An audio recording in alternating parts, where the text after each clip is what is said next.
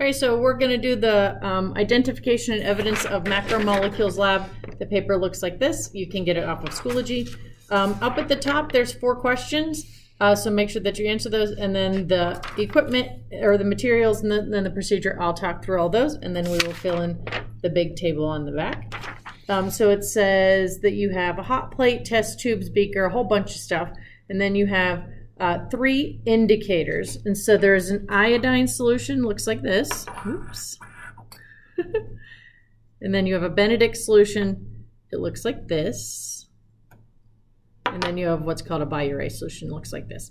And so those are what are um, we call indicators. They indicate whether there is the presence of a macromolecule. So we talked about four macromolecules in class, um, carbohydrates, lipids, proteins, and nucleic acids. So we're going to test for four different things today, uh, not nucleic acids, but two different kinds of carbohydrates. And then we have um, four, three solutions in a, in a vegetable oil. So I have a uh, sugar solution, a dextrose solution, a starch solution, a gelatin powder solution, uh, which is protein, and then vegetable oil. And so then we have the procedure. And so I'll go through this, um, and it just, I'm doing what the instructions uh, tell us to. So the first one is Benedict's solution. So this, um, this one, try and figure out where my camera is.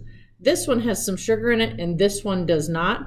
Um, so this is water, and so when we put our Benedicts in here, on the back of your paper, it says um, appearance in uh, the sugar solution before heating and after heating. And so we got to look at this a couple times, and then we're going to put it into the um, hot water bath. You, it's sort of off the camera, um, and so but you'll be able to see it.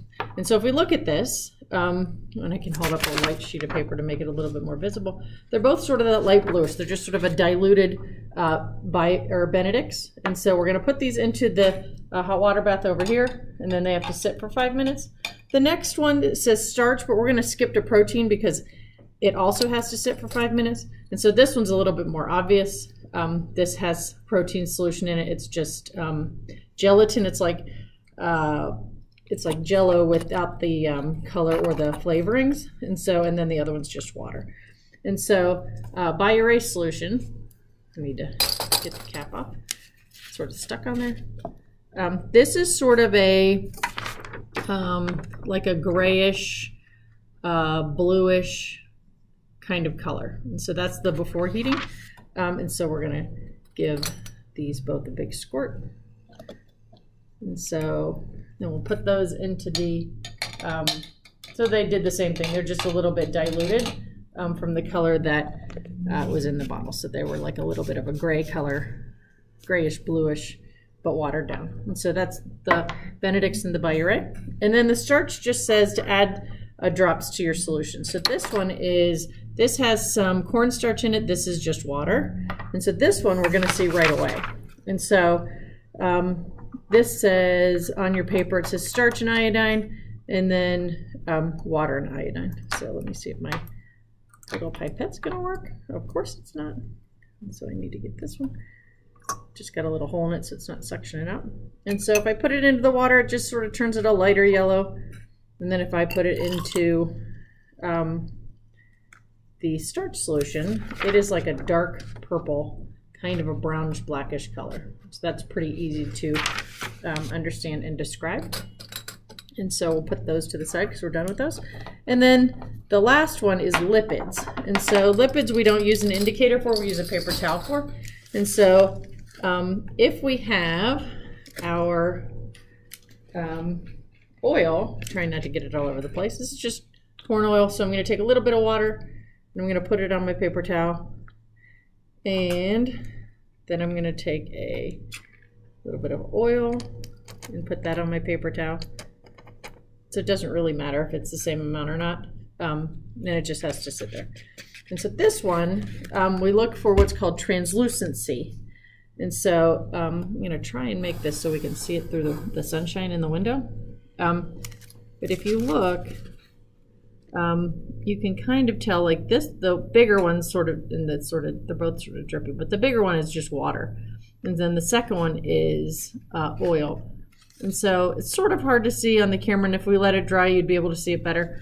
But my best analogy for this one, or sort of the best example for this one, is if you've ever gotten like French fries at um, McDonald's, they have like a brown paper bag, and uh, then the oil, the lipids from the um, French fries gets onto the bag, and it sort of looks the same way. So you can always tell, like, are there delicious fries in the bag, or are there not delicious fries in the bag? Um, and then, uh, then because there's lipids in those, so um, we got to wait a couple minutes for the Benedicts and the Biuret, so I'm going to pause it and then I'll be back in a second. Alrighty, so it's been about five minutes. Uh, so I'm going to take my test tubes out. And so this one is my Benedicts. And so if you look at this, uh, the water one, which is this one, uh, stayed blue. And then the positive or the one with uh, monosaccharides in it um, or sugars uh, turned like a cloudy, weird kind of orange color.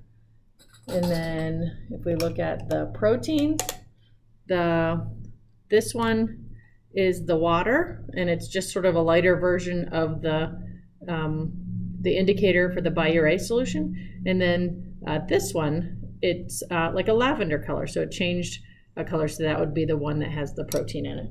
And then again, um, here's the iodine. Uh, this is just the water, and then this is the one that has the uh, polysaccharides or the cornstarch in it. And then our paper towel one was the lipid one. So uh, make sure that you answer the questions at the bottom uh, and just do the best you can. And that's it.